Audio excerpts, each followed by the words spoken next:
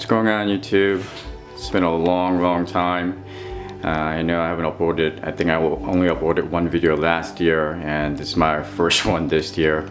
Um, obviously what's with what's going around the world right now, um, just, you know, I, obviously people are gonna have a lot more free time on their hands. I've been stuck at home for about a week and will be uh, um, continuing to do so for another, I don't know, probably at least two more weeks. So this uncertain times, I just hope everybody uh, be safe and just take care of yourselves. Um, so I'm gonna do a little update today uh, with uh, some of my younger animals. I did change uh, a decent amount around here as far as my animals goes. I sold off some of my adult stock to make room for uh, um, sub, sub adults and the boys that was born actually here. So I'll probably start with the 2019s and maybe go up to 2017, 16s depending on how much time um, I have today uh, to make a video. So, you know, everything's okay in my room. So I haven't added any more cages.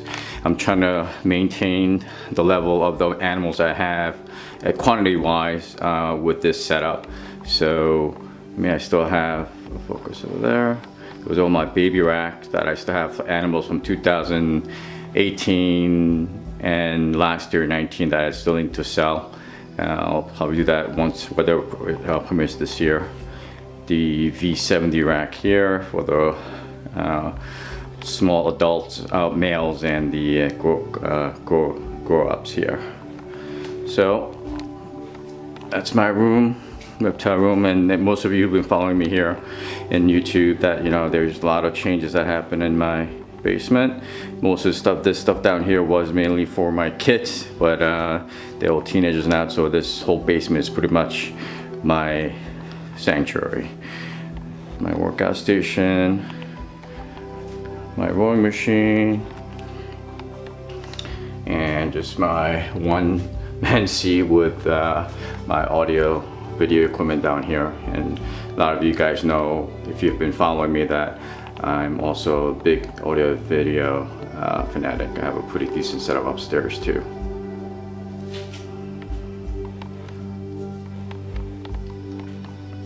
Alright, so I'll start taking some animals out and see how this video goes. Alright, so let's start with this one. This is my uh, 2019 Sharp Junglo wasn't gonna keep her because um, from the previous same pairing I kept the male Jungle from that litter as well. But you know this one has uh, great contrast and amazing colors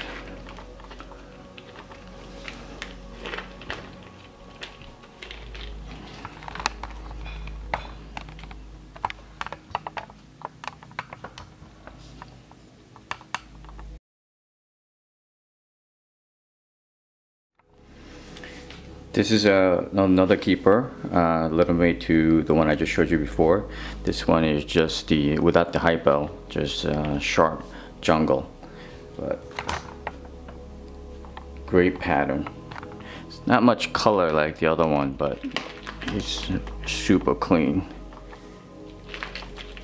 I mean, I do have a lot of jungles in my collection, but it's my favorite morph.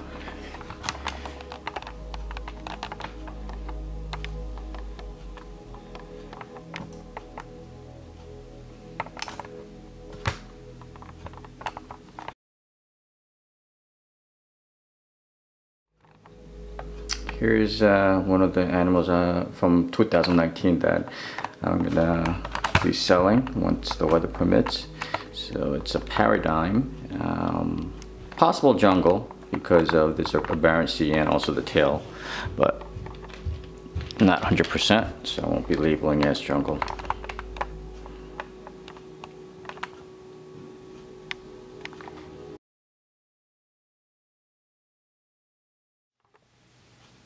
Alright, here's my uh, BCC Suriname litter that I had last year, 2019.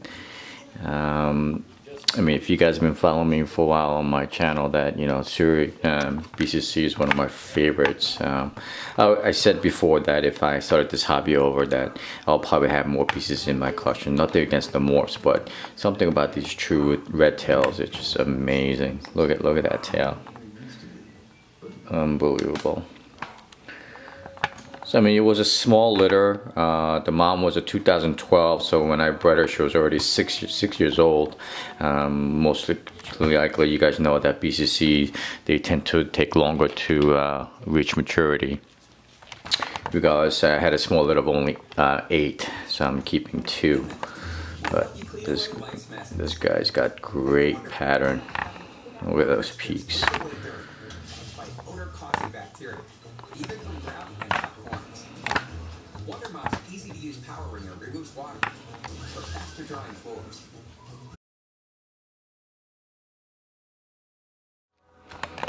Alright, then this is the uh, female that I decided to uh, keep from the Suriname, uh, pairing. She's got peaks just like the mother. Mother is a mega peak line, so she's got huge peaks. And just look at that tail. So as I was saying before, the mother was a 2012 and father is Tomiko Fudo line was a 2011.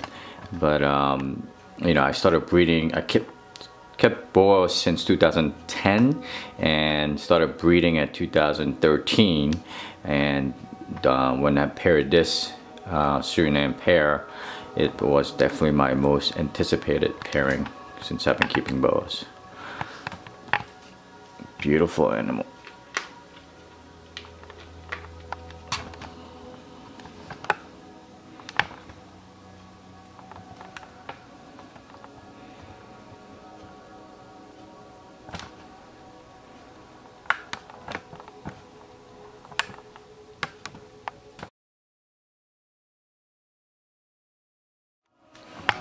Here's one of the females that I have available from the Suriname litter. One's very interesting because instead of those peaks, it's got these almost like floating saddles, which is very interesting.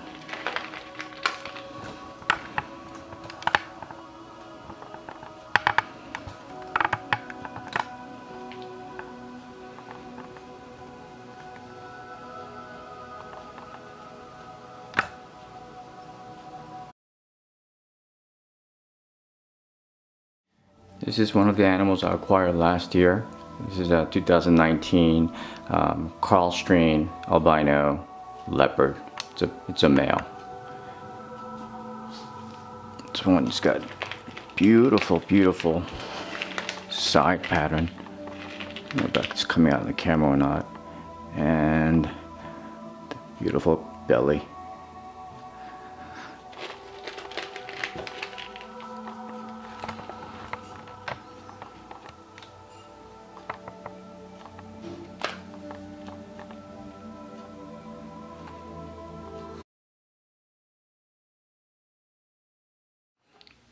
Here's an IMG 100% het for BP, VPI T positive.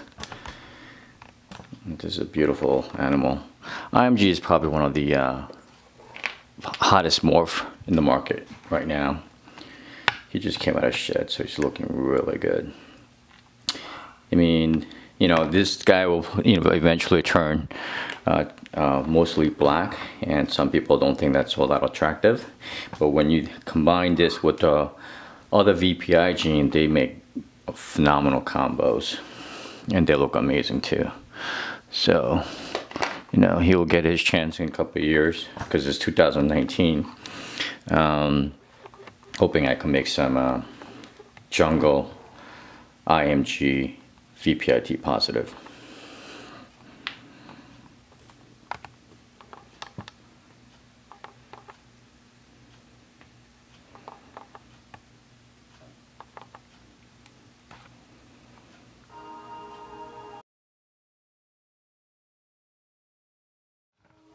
Here's our 2019 IMG 100% het for sharp albino. It's a male also. And he's actually much darker than the uh, VPI. I don't know if you guys tell in the video, but these uh, IMGs are actually uh, bigger than the other 2019 just due to the fact that they were born at least uh, I believe like three four months earlier than my, my other animals I showed you. But sharp albino combination with the IMGs look fantastic too. So we shall see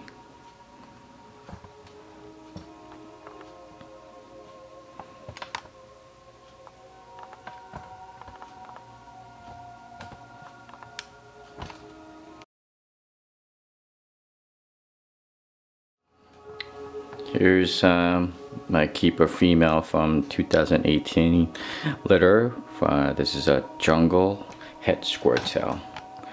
The pairing was the uh, amazing square tail male and one of my best jungles that I have in my collection.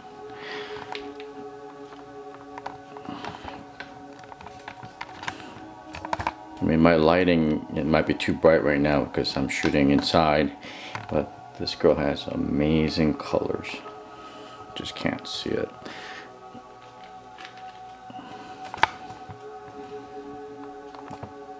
I love this classic jungle pattern too.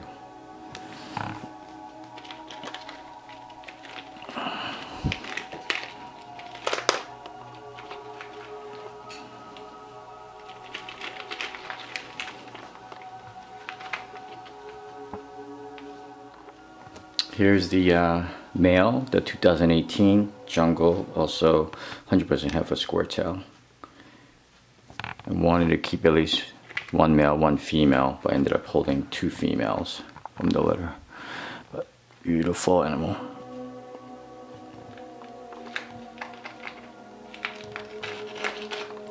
Look at that tail. And I definitely think uh, square tail uh, gene is underrated. I mean, it's also hard to find uh, quality ones too. But you know, the pair I have, pure square tails, I'm gonna be pairing them end of this year. And looking forward to see what the outcome will be from that litter. Just love the even pattern on this guy.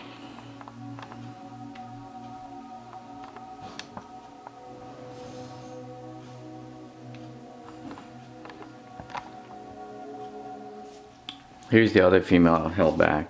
This is also the 2018 Jungle Het Square Tail. Um, but her pattern is very different. She's it's more, much more contrast, uh, has much more contrast than the other two that I just showed you.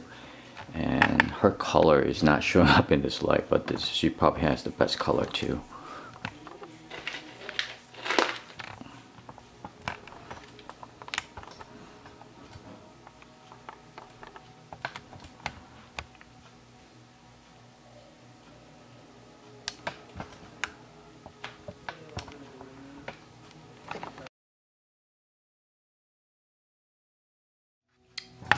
2018 uh, red pastel sharp albino male acquired early last year.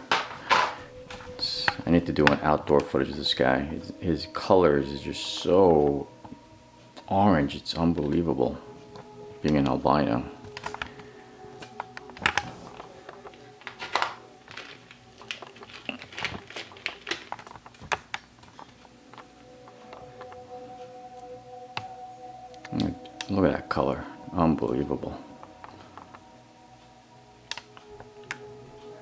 I did a trade to acquire this animal early last year. I'm very happy with it.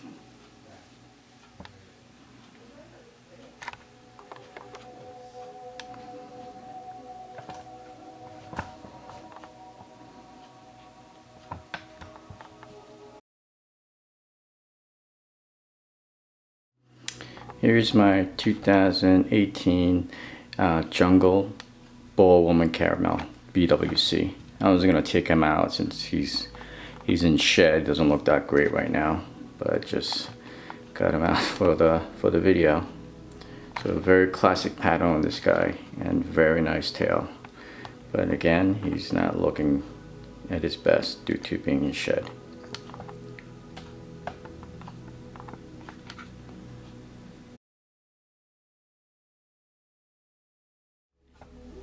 Here's my keeper from my 2017 litter. This is the male sharp junglo. So I mentioned the very first uh, animal that you guys saw that I was gonna be thinking about keeping in the jungle, but that's a female. This is a male, so I decided to hold on, get hold on to that girl. I mean, he he's uh, calling up very nicely, and his pattern is pretty cool too.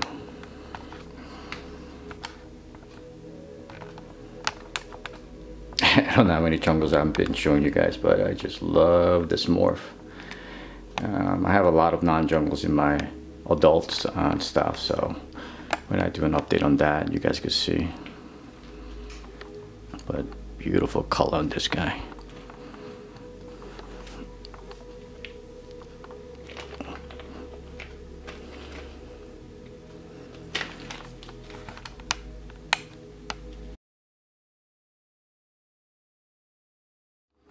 Here's my 2017 Keeper female.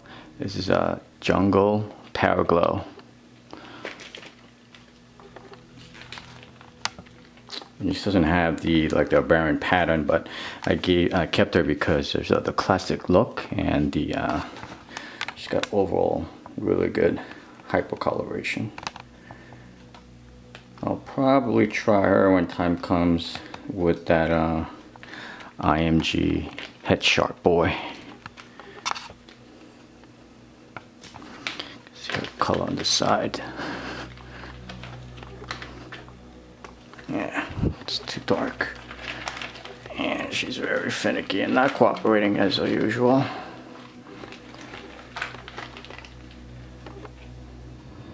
Here's my 2017 VPI T positive Motley Girl. I had a lot, a lot of outlets before, but now we have two. Uh, this one and another one. Oh, one of the girls that was born here, Sunglow Motley, from 2015. But this one has beautiful colors, and uh, love the way you can't see it on the camera, but it's got those pink highlights.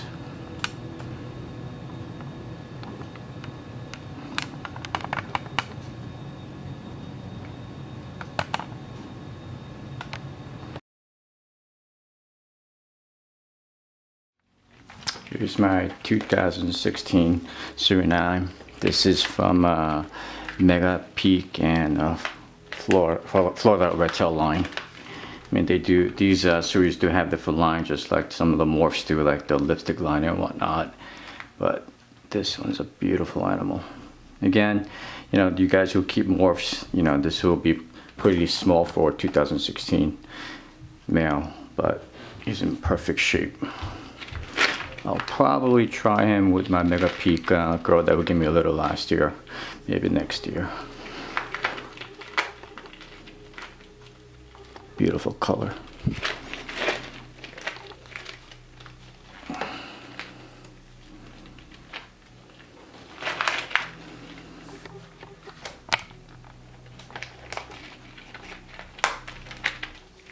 Alright, I'm gonna end it with this guy here. This is a, a 2016 BCC um, Pokegron uh, Suriname. He probably has the most best tail out of all my uh, series. But this is a 2016, but it's only eating uh, small rats every two weeks. But in perfect shape, great girth. Beautiful animal. Just look at this tail.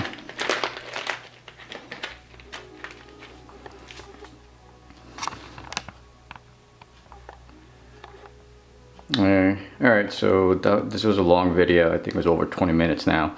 But uh, I'll try to do an update uh, if time allows with my uh, some of the adult uh, animals.